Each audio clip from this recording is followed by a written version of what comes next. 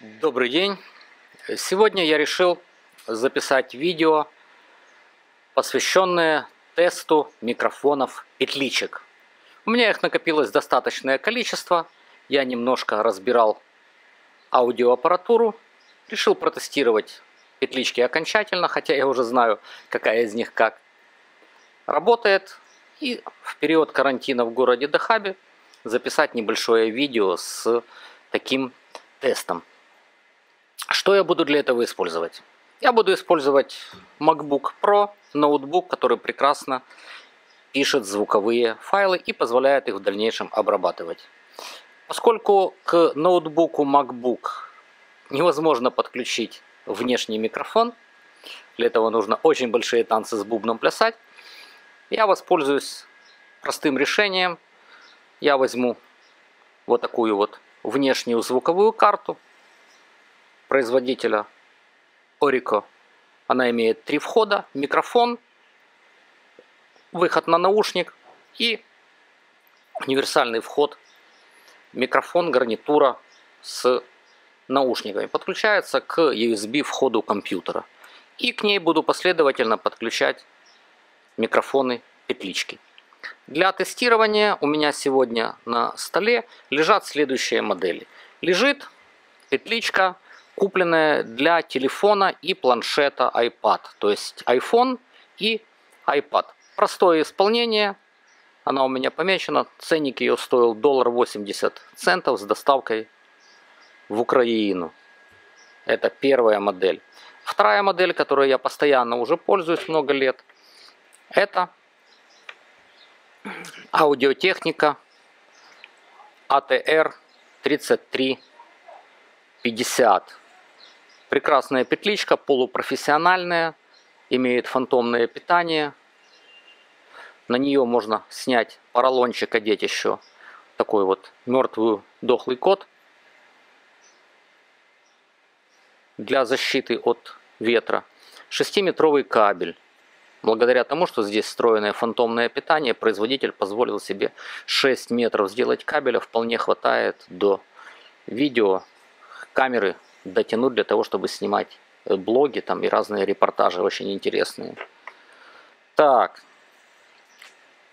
когда-то купил, не поленился, Деги. Петличка, даже маркирован производитель на ней, метр восемьдесят кабеля в тканевой оплетке –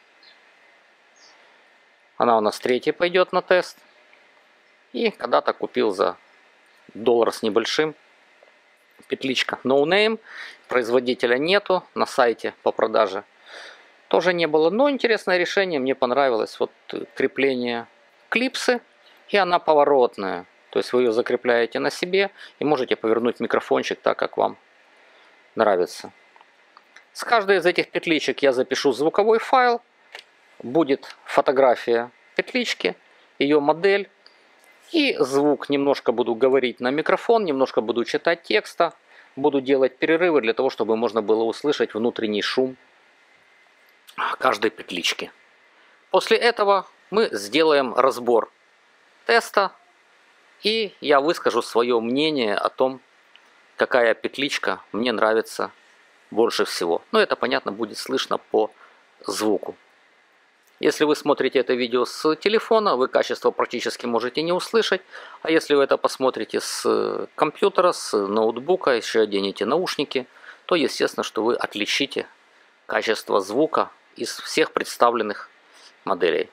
Так что начинаем наш тест. Первый образец на тест это петличка с штекером под телефоны iPhone. Она не будет работать с обычными компьютерами, с обычными звуковыми картами, но для этого в комплекте при продаже шел специальный переходничок, и я без проблем могу подсоединить эту петличку к любому устройству, имеющего микрофонный вход. При записи я устанавливал чувствительность микрофона, чтобы уровень сигнала у меня не превышал минус 6 дБ. И я буду пользоваться этими настройками для всех следующих петличек, для того, чтобы выровнять уровень громкости и можно было сравнивать только чувствительность и тембр голоса. Немножко текста. Мастер и Маргарита. Чем вдохновлялся Булгаков? Фауст Гёте, словарь Брагауза и Эфрона, биография Иисуса Христа, исследование швейцарского невропатолога. Эти и другие тексты помогли Михаилу Булгакову в работе над великим романом. Михаил Булгаков работал над романом 12 лет, с 28 года и до февраля 1940 в несколько этапов, с перерывами и параллельно с другими текстами. Круг читательских и библиографических интересов писателя можно представить благодаря воспоминаниям современников и исследованиям его биографов. Начитка текста закончила, и мы переходим к тестированию следующего устройства – Следующий петличный микрофон на тестировании это аудиотехника ATR 3350. Это полупрофессиональный микрофон. Он имеет фантомное питание и встроенный усилитель, благодаря которому производители смогли сделать 6-метровый кабель, что очень удобно для блогеров – и съемки на некотором расстоянии от камеры. Попробуем почитать текст, используя эту петличку. Уровень чувствительности точно так же у меня выставлен до минус 6 дБ. Так. Литературу, которой пользовался Булгаков, можно вычислить и по разным редакциям романа, сохранившимся в архиве писателя. Представить весь список литературы, которая могла оказать влияние на Булгакова и его роман, невозможно, поэтому расскажем о некоторых источниках его книги. Иоганн Вольфанг фон Гёте. Фауст. Роман Булгакова обладает огромным количеством пластов, а Фаустинский едва ли не самый узнаваемый. Аллюзии к Фаусту пронизывают весь текст, от эпиграфа, задающего философский вопрос о свете и тьме, до образов персонажей, прямых цитат, пародийных сцен и далее. В библиотеке писателя было издание 1902 года, вышедшее в Петербурге в переводе и с объяснениями Александра Соколовского. Впрочем, текст Гёте он знал благодаря не только книге, но и одноименной опере Шарля Гуно. Сестра писателя, Надежда Земская, вспоминала, что в Киеве Булгаков видел оперу «Фауст» 41 раз.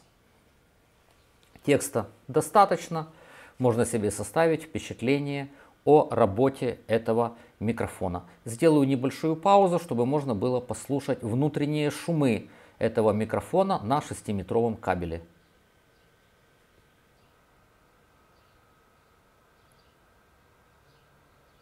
Шумов практически нету, они незначительны и ухом они не воспринимаются.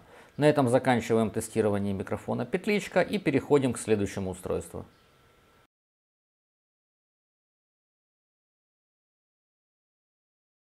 Микрофон петличка китайского производителя Degay. Стоимость колеблется от 3 до 4 долларов. Достаточно высокая чувствительность. Кабель длиной метр восемьдесят очень приятная тканевая оплетка, которая гарантирует долгий срок службы этого микрофона. Послушаем шумы. На заднем плане у меня немножко шумит вентилятор ноутбука. Я думаю, что его будет слышно через эту петличку, но вы сможете отличить шум кабеля и микрофона от работы вентилятора на заднем плане. Еще немножко текста.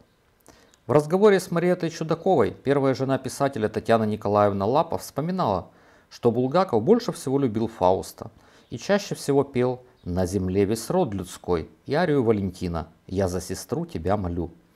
А вот воспоминания театроведа Виталия Веленкова.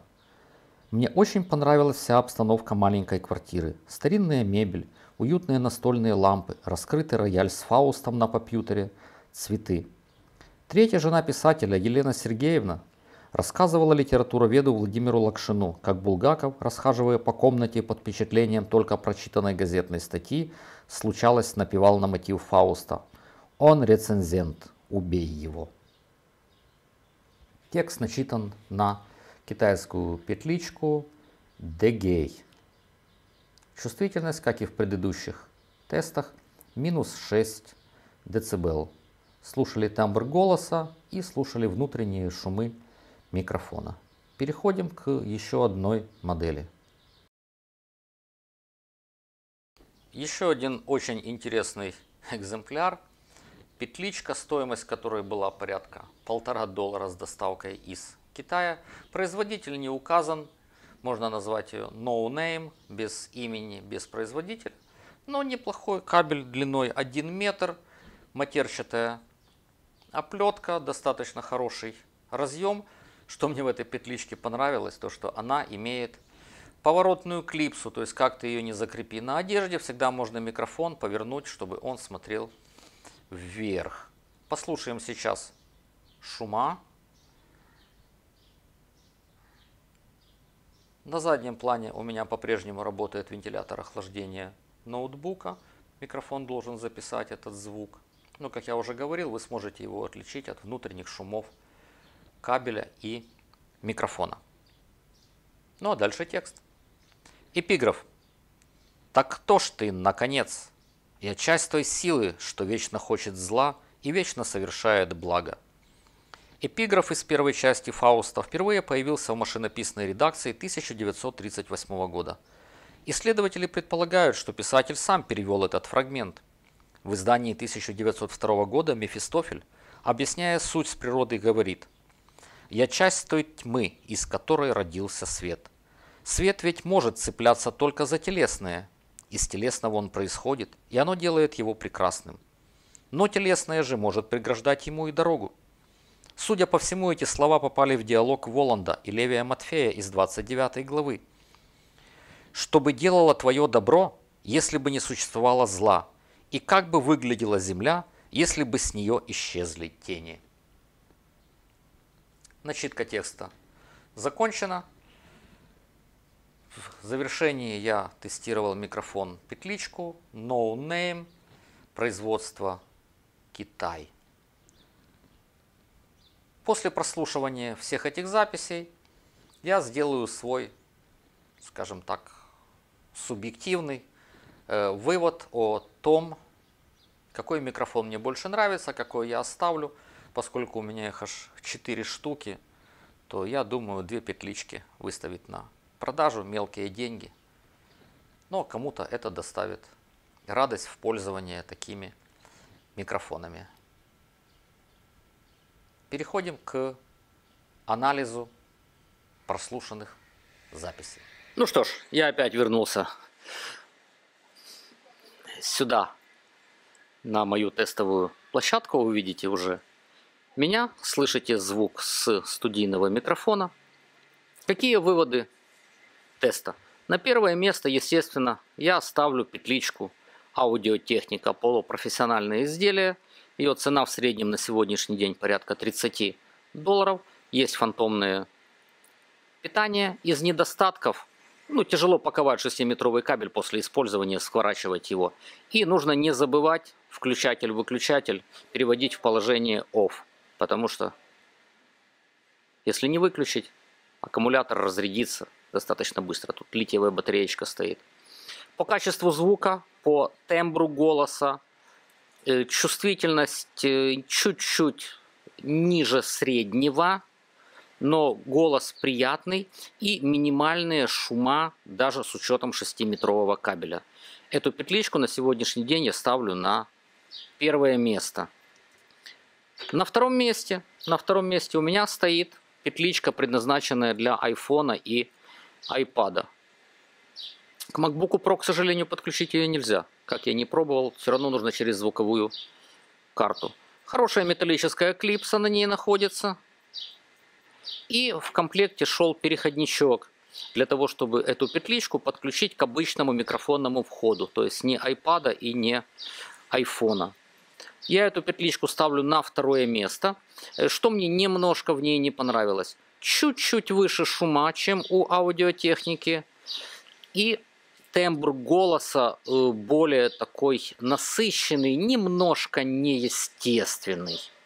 Но в целом очень неплохая модель, я ее оставляю у себя в пользовании, поскольку достаточно много у меня устройств производителя фирмы Apple. Третье место. Третье место.